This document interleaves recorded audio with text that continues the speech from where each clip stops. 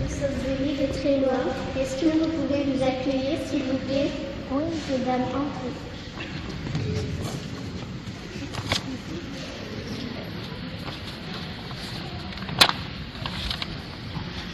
Bonjour, bonjour. Y a-t-il une place pour nous? Euh, oui, je crois.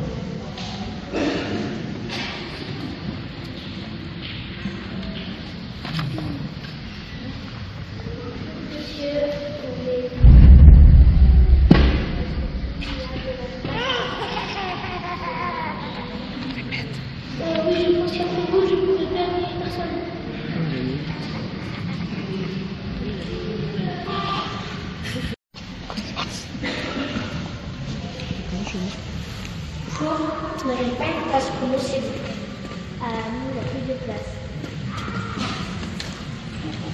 Bonjour, vous n'avez pas une place pour nous, vous plaît Tout est plein, vous êtes trop en retard.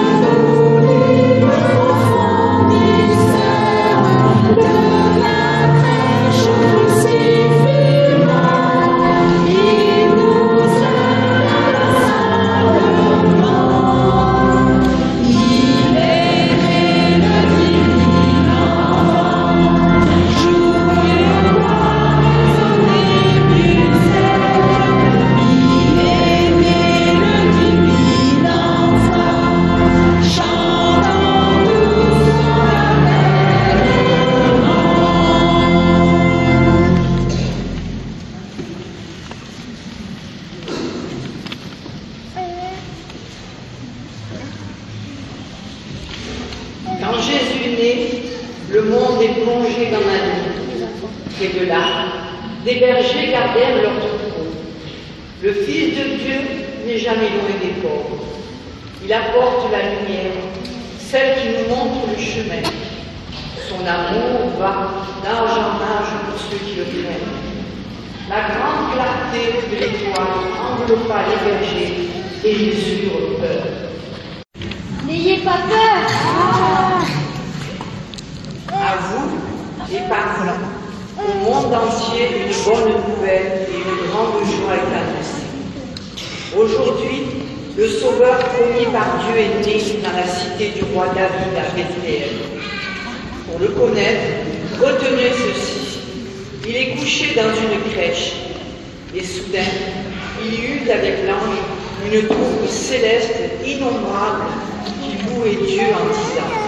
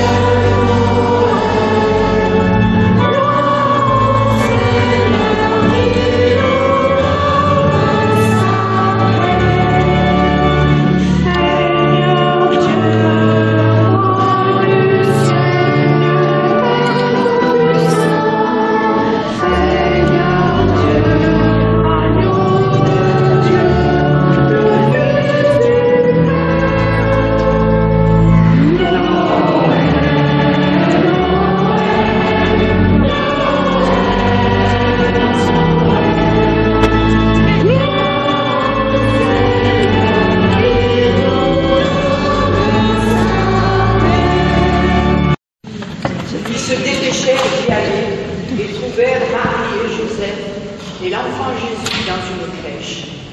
Après avoir vu, ils racontèrent ce qui leur avait été annoncé au sujet de cet enfant. Et tous ceux qui entendirent s'étonnaient de ce que leur racontait les bergers. Ils avaient appris l'événement et tous étaient étonnés.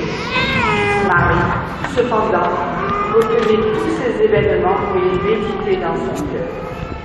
Les bergers repartirent. Ils glorifiaient et louaient Dieu pour tout ce qu'ils avaient vu